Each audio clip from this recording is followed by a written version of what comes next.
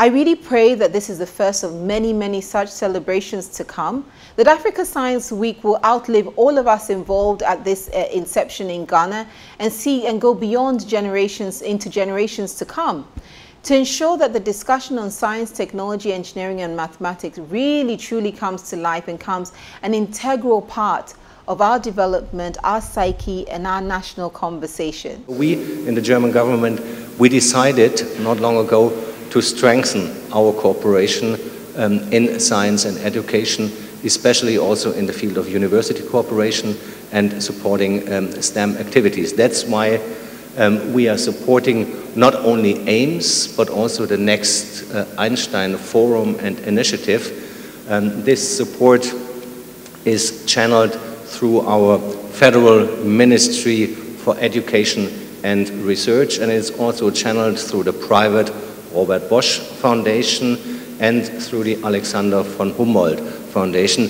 We are very grateful for these institutions to uh, support um, these very important initiatives here. So what is the ambition of the African Institute for Mathematical Science? So basically, our ambition is really, let me, let me quote Neil Turok, who is the founder of AIMS, is to be the MIT of Africa. This is our ambition.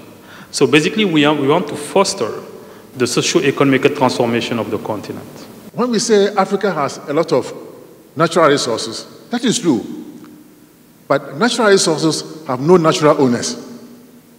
Those who own the resources are the ones who have the knowledge, the skills, technology to exploit the resources and give you a small percentage. Throughout history, it's been proven that two things have shaped the world dramatically time or events and inventions. Let's go back into time. It took one person to die for chronology to be defined Jesus Christ. So we have AD and we have BC. But it took people like Copernicus, Galileo, Johannes Kepler to refute a widely held claim that the earth was flat.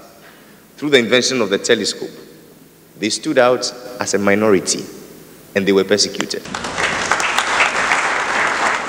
As the MC said, even before Newton, uh, Johannes Kepler in the early 17th century discovered his laws of planetary motion and was able to translate how the planets move around the sun in a mathematical language that we can all understand. So, mathematics is important. That is the language of the gods.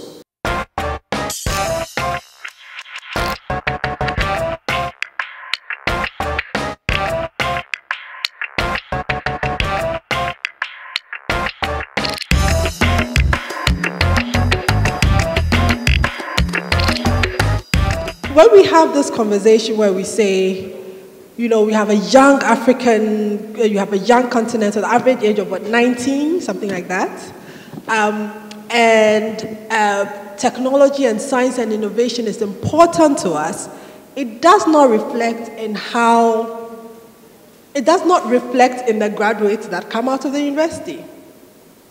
Right? So if it's important to us as a nation or as a group of people, it's not reflecting in how we we churn out the numbers. Maybe and the educational rep, the educational reps here will have to forgive me, but maybe the universities are failing us. But then the students have to take control of their own lives. Usually, the, the blame is, is given to the universities.